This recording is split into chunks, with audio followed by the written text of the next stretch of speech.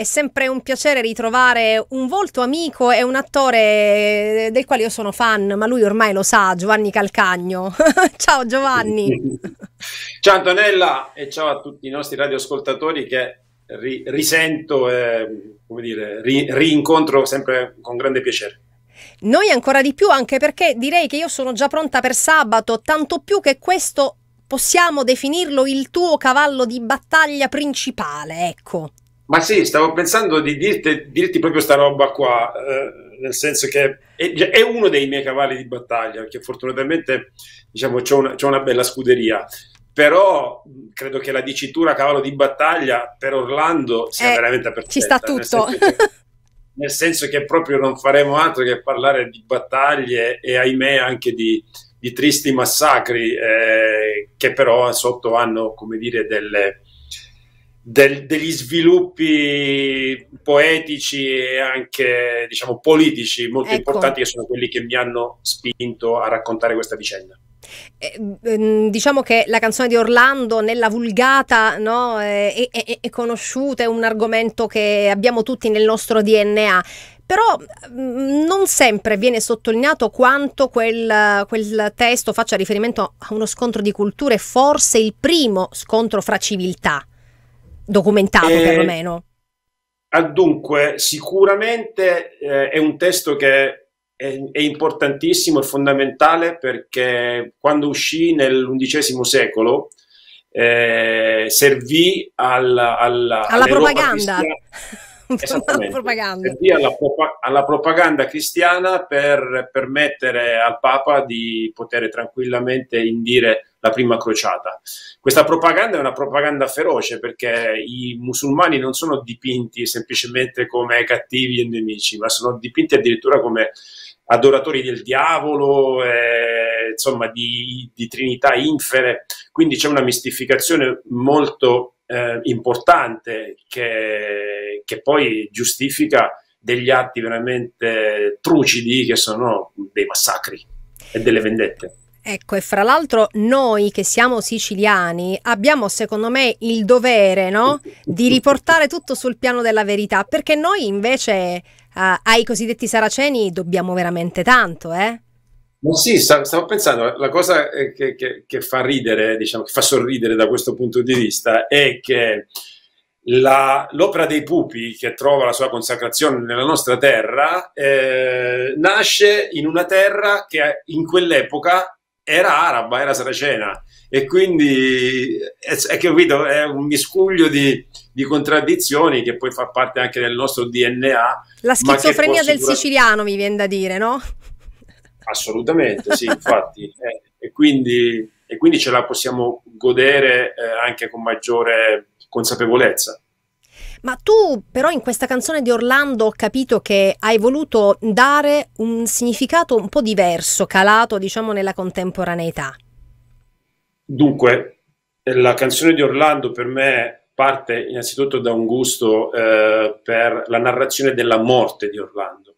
La morte di Orlando eh, mi, mi, veniva narrata, e me lo ricordo ancora, da mio nonno, eh, proprio in giornate belle di primavera come queste che ci stiamo godendo in questi giorni e, e io ricordo ancora queste immagini narrate de, del sangue che usciva dalle orecchie per lo sforzo di, suona, di Orlando di suonare il suo corno, l'olifante, eh, questa solitudine in questo deserto di morti, no? di, in queste montagne piene di, di, di, di, sangue, di una battaglia ormai finita.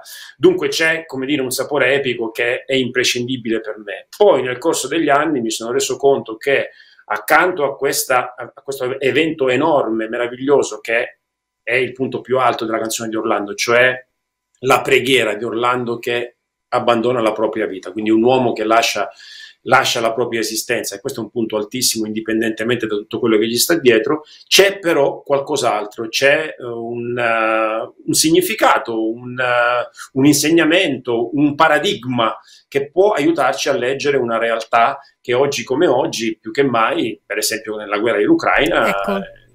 Ci permette di essere più confusi che persuasi, come si dice, no? Eh, esattamente. Ma perché siamo esatto, perché siamo in balia inevitabilmente eh, intanto non abbiamo delle fonti dirette. Ecco, partiamo dal presupposto che per farsi un'idea corretta nella vita in generale su qualunque argomento bisognerebbe avere delle fonti dirette e poi farsi il proprio punto di vista. Noi di fatto non abbiamo delle fonti dirette, sono sempre filtrate da un punto di vista e il punto di vista si sa, è un punto di vista, ma non il punto punto di vista? Sì, eh, direi che questo, questo è, è, è, è, ovviamente è importantissimo quello che dici. D'altra parte, il gioco dei buoni e dei cattivi sappiamo bene che è un gioco che non funziona. No.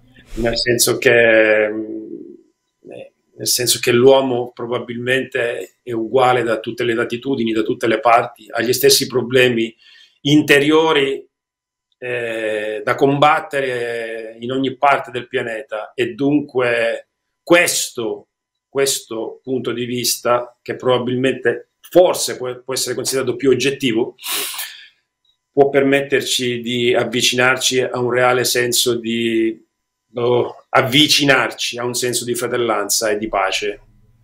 Molta cautela nelle parole di Giovanni Calcagno, perché, perché molta, molta cautela perché molta consapevolezza. È questo eh sì. il punto. È, è, è materia, materia, insidiosa perché, perché, è materia umana, è come tutte le materie umane fatte di profonde contraddizioni.